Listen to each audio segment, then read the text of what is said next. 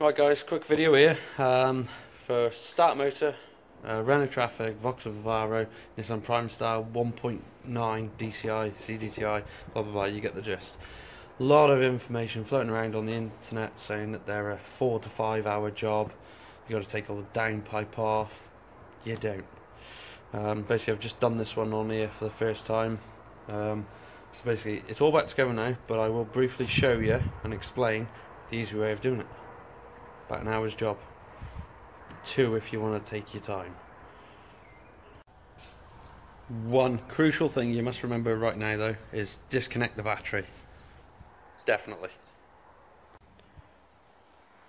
So regarding the top here, um, all you need to do, just for making a little bit more work, if you are doing it on your back so to speak, um, is remove this boost pipe, this boost pipe, and then that will gain you access down the bottom there. There's a 13 mil that you need to pull out uh, from the start motor.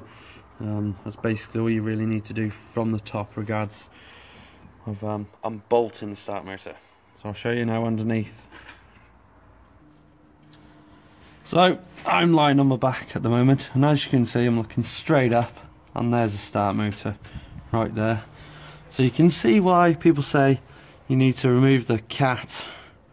Some people say you need to move the drive shaft. When really speaking you don't. So all you need to do is undo that 13 there. Remove that 10 mil there which removes the earth strap. And then withdraw that 13 there on the other back side sorry about the light. There is 13 there and another 13 above that. So you can't see it but basically they're there. This bracket then comes out of place. Then that 13 there and then there's one more 13 just there. Obviously before you undo the starter motor you want to go from this far side. You might want to undo that but you will get your hands down the back so basically you go through the downpipe and then that will gain you access to the 13 mil main power feed and then just on top of that is an 8 mil nut for the exciter wire.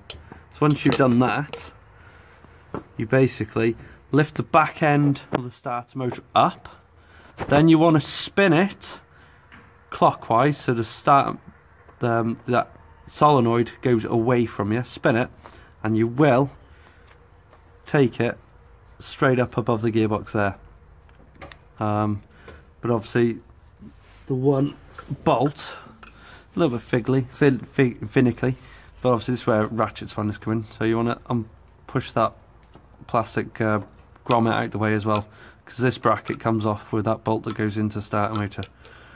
So I'll show you from the top start motor, imagine this is down above the gearbox, will come out like that.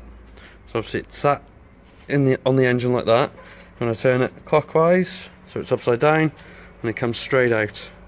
Um, and exactly the same of when you're refitting it.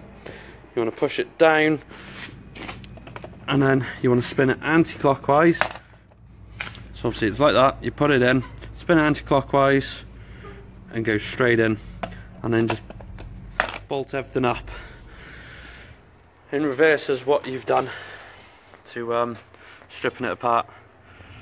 So hopefully guys, um, this has cleared a few things up and makes your life a bit easier than doing access stuff like everyone else has suggested. Like the video please, subscribe, like, thumbs up, thank you.